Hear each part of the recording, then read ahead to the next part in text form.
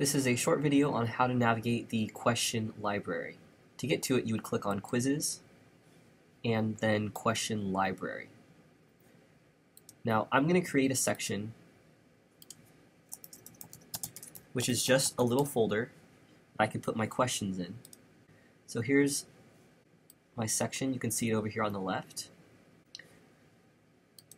Now, once I have that section, I could create new questions underneath the section.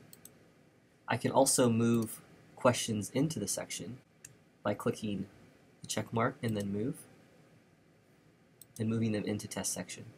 Let's go ahead and move it back out to the root. Let's say I want to delete this section. I would select it and click delete. I can do the same to each question. And that's how you delete and create new items in the question library.